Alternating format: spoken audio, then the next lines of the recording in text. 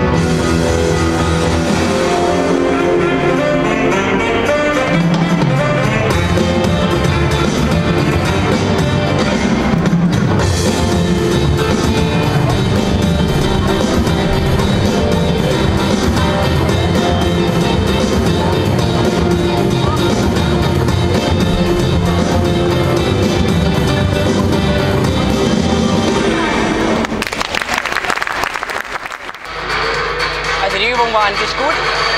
Das erste Element, unser schwerstes eigentlich, ist super gelaufen. Besser als im Training und wie wir es erwartet haben. Ein Element, was als drittes kam, war nicht ganz so optimal. Aber insgesamt denke ich, sind wir zufrieden.